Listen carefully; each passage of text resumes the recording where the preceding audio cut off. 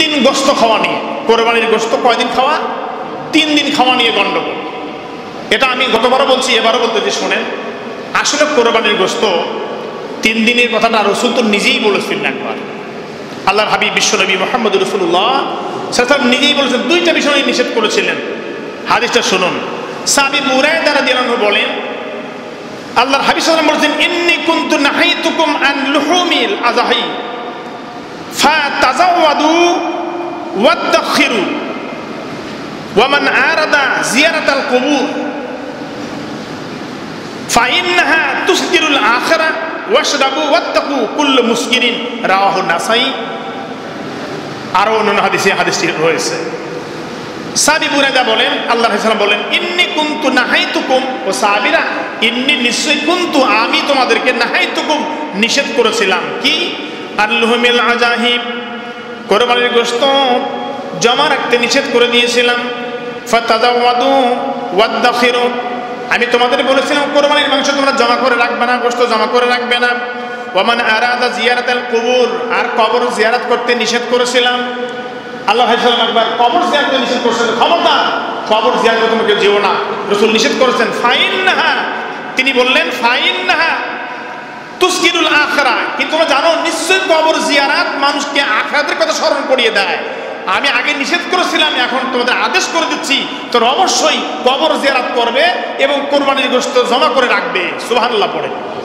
আল্লাহর হাবিব বললাম আশরাবু তোমরা পান করো এবং আল্লাহকে ভয় করো, কুল্লু মুস্কিরিন। কিন্তু খবরদার শরাব পান করিও না।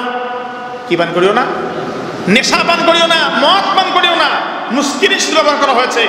নেশা জাতীয় দ্রব্য পান করিও না। এটি রসুল নিষেধ করলেন গোস্ত যদ্দিন খুশি জমা করে রাখো, আর কবর জিয়ারত নিষেধ করেছিলেন, এখন তো কবর জিয়ারত করো।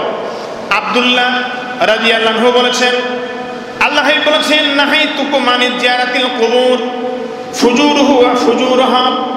আল্লাহর হাবিব বলছেন, তোমাদেরকে নিষেধ করেছিলাম, তোমরা কবর জিয়ারত করিও না কিন্তু এখন থেকে করো। ওয়া নাহাই তুকু আন লুহুমিল আজাহিয়া ফাওকা সালাসাদাইয়া এবং বলেছিলাম, তিন দিনের বেশি কোরবানির গোস্ত জমা করে রাখো না। রসুল বললেন, তবে শোনো, এখন থেকে ফার্ম শিখু মা বাদা আলাকুম এখন থেকে যদ্দিন তোমাদের খুশি, তোমরা কোরবানির গোস্ত জমা করে রাখো আর অবশ্যই তোমরা কবর জিয়ারাত করো। এই জন্য কবর জিয়ারাত করবে ফাইন না তুস্কিরুল আখারাপ কবর জিয়াত করলে তোমাদের আখারাতের কথা স্মরণ হয়ে যাবে সুবাহান আল্লাহ বলেন। এই যে হাদিসটা আমরা এখানে পেলাম যে আমরা কবর জিয়ারাত করতে রসুল নিষেধ করেছিলেন আবার উনি বললেন যে, না, এখন থেকে কবর জিয়ারাত করো। আর বলছিলাম, তিন দিনের উপরে কোরবানির গোস্ত রাখো না, এখন থেকে রাখা যাবে। যদ্দূর খুশি তোমরা রাখতে পারো। ত্রিপুষ্টিতে এই নিয়ে কোনো গণ্ডগোল নেই। তবে হ্যাঁ কোরবানির গোস্ত আপনি লম্বা দিন রেখে কি করবেন? আপনার পাশে যদি দরিদ্র মানুষ থাকে, তারা যদি খেতে না পারে, তাহলে আপনি এতদিন জমা করে রেখে কি লাভ? ফ্রিজে দীর্ঘদিন জিনিস রাখলে পরে ওটা তো খারাপও হয়ে যেতে পারে। দরকারটা কি?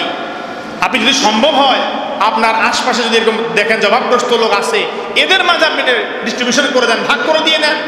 ওরা খান ওরা খেয়ে দোয়া করবে আপনার জন্য। এটি আপনার জন্য সবচেয়ে ভালো হয়। এটা করবেন।